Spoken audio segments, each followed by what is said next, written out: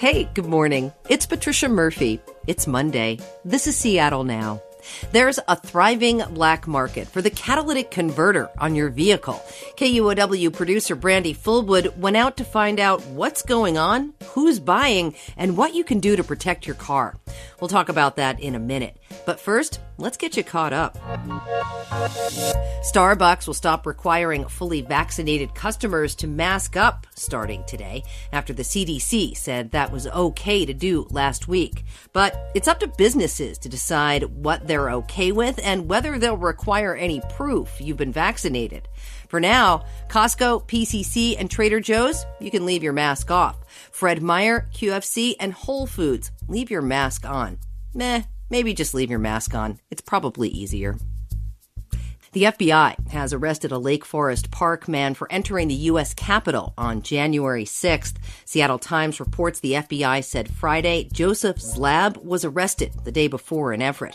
According to court documents, Zlab is charged with two counts, including one count of violent entry and disorderly conduct on Capitol grounds. That makes six Washingtonians facing charges for taking part in the Capitol riot. And if you are eating PCC brand yogurt while listening to this, stop and throw it out. State health officials say it's likely linked to an E. coli outbreak that has sickened 11 people in four counties. They're following up with the organic Eastern Washington dairy farm that supplies the co op. So far, there have been eight cases here in King County. Most of the people who've gotten sick are children under 10 years old. If you drive a Prius, you probably already know that catalytic converters are getting stolen like hotcakes in Seattle lately. And it's not even the catalytic converter they want. It's the precious metals extracted once it's stripped down. Producer Brandi Fullwood has been digging around to understand what's going on. Hey, Brandi. Hey, Trish. So what the heck is going on here? Well, so this is sort of like a national issue that somehow pops Seattle's bubble. We don't usually meet the national news standards, but this time around it actually did happen. When I called up the King County Sheriff's Office, they said that their crime analysts had seen from 2019 there were 11 thefts of catalytic converters and then it just jumped up to 285 in 2020. So it's been like a pretty big deal and I think it's probably going to get worse for the rest of the year. All right. And why the Prius? It seems to be the Prius is the top targeted car with a catalytic converter that somebody wants as far as I, I can understand is the Prius is what the sheriff's department calls the gold standard of catalytic converters. They've maybe got more precious metals in them than say any other average car. It used to be that people would hit like a, a GM sort of car or a, an old truck. And that's old news. People are going after the cars with more metal in them. Okay. So all of us have heard the words catalytic converter, but I am not quite sure what this does. What is it and what does it do? That's fair. I think a lot of people think it's inside of their cars, and it's actually right underneath your car. So a catalytic converter is the thing that controls your exhaust emissions, and it's maybe a little bit more complicated than that. I did reach out to a lot of really smart scientists who described it as like this ceramic piece that then gets this slurry of metals, of all these precious metals painted over it. So I reached out to Brian Flinn, who's an emeritus professor at the UW. He works for the Department of Material Science and Engineering, and he basically explained what a catalytic converter does. The combustion that happens in the gasoline engines and other engines isn't always complete and when you don't burn everything completely, you get some more reactive gases. Uh, what happens with these catalysts is they help these reactions keep going. So it converts carbon monoxide to carbon dioxide. That is much less harmful than carbon monoxide, which is not only poisonous, but it's a much more potent greenhouse gas. And Brandi, it's all about the metal. It's not that giant piece. It's just that stuff that's contained in there, those precious metals. Yeah, and it's precious, but it's also unique. It's this material that can do way more than any other earth abundant material that, at least that we know of, can do right now. Anything else doesn't compare. They're the ones that work the best. It takes less of them, the reactions occur faster. They're some of the best catalysts that we know. So on, on, the one hand, these precious metals that are in them, the palladium, the platinum, the rhodium, they're all really rare. There are maybe one or two mines in the US, and they're just these really shiny, beautiful, durable things that people use in dental equipment. They use it in jewelry. They use it in these like fancy French glasses that I considered buying until I saw the price tag and flutes. So all these qualities, of course, they make for like these really expensive pieces of material that end up being two or three times more expensive than gold. At least the palladium and the the rhodium, they can be about two thousand, three thousand dollars an ounce. Well, you can see the draw if there's a market there. So it's not even that surprising that this is happening all over the city. And I have heard the sounds of sawzalls overnight in my neighborhood in North Seattle. And it happened to you. Yeah, it did. we were warned and like fair enough we were warned by some neighbors they warned us about our prius um, this is what's going on you guys need to watch out and we didn't think much of it in the springtime but by the summer of 2020 it was just gone how did you know it was gone did you just come out and well, so for some people, it, it makes this really awful sound.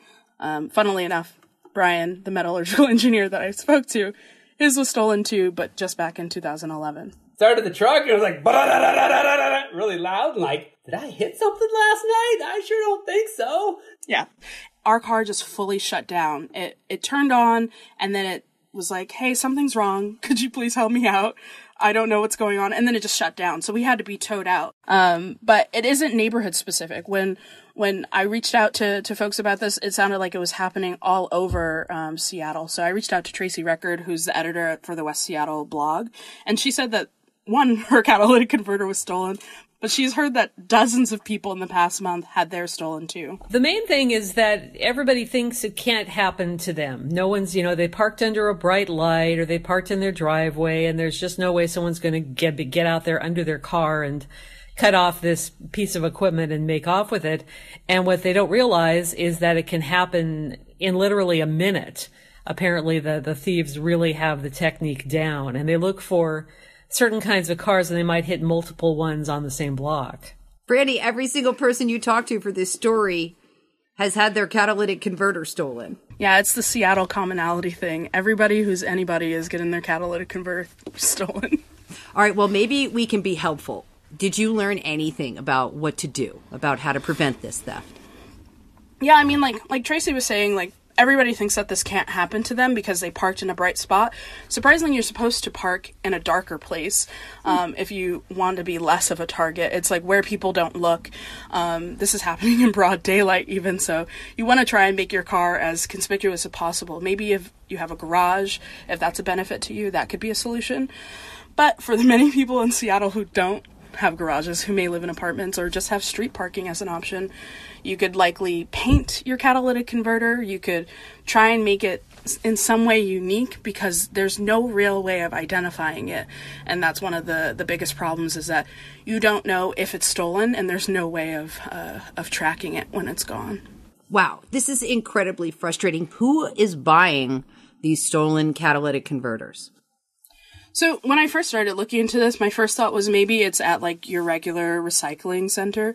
Maybe they're going to be the ones to buy it. Like, you know, they'll buy like your paper, they'll buy old bikes, they'll buy pieces of metal. But as far as I've learned, a lot of the places around here either don't want to talk to me very much or they don't, they don't buy that anymore. Maybe they buy them for uh, a couple dollars.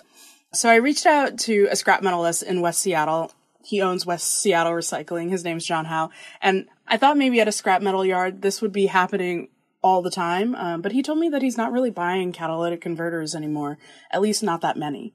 Almost never, maybe never, because because we don't pay very much. I know that I've heard they're worth several hundred dollars, but we never pay more than forty or fifty. So. Oh, why is that? Are they just not? Because I don't want to pay very much. Well, because there's such a there's a huge range of value in catalytic converters, all the way down from zero if there's no platinum beads inside. So that's the first thing you look for. Um, and so if, if it's empty, then it's just scrap steel and it's worth zero.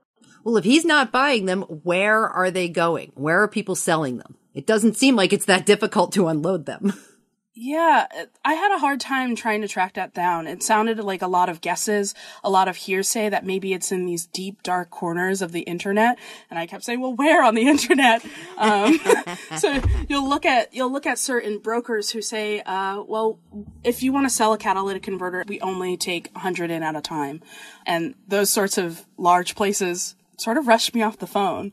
But those same places sort of squared with what the scrap metalists in West Seattle, they think those are the places that people can sell them. That's where they see their buyers flagging, like, maybe don't sell there, maybe take some caution. And when I called the sheriff's office, Tim Meyer, who's the sergeant there and their media relations officer said that that's exactly where their detectives are trying to look right now, but it still kind of sounds like a, a wild west for catalytic converter theft. There's not much enforcement and they're really hoping for a solution from Olympia because on the national level, what the enforcement looks like is maybe making catalytic converter theft a felony. We have the laws of the state of Washington, but I think it's the laws of economics that probably trump those because as long as those prices stay high and that demand stays high for, you know, the platinum, palladium, and again, especially rhodium, that's going to create an economic incentive. And that's going to allow these mid-level brokers to be cash rich, if you will, so that they can go out there and continue to incentivize those street level suspects to go out there and steal converters. All right. Until then, protect your vehicle. Brandi, thanks so much for checking into this for us. Yeah, no problem. Thanks for having me. Seattle Now is produced by Caroline Chamberlain Gomez, Clare McGrane, and Jason Pagano. Brandi Fullwood produced today's show. Matt Jorgensen does our music. I'm Patricia Murphy. See you tomorrow.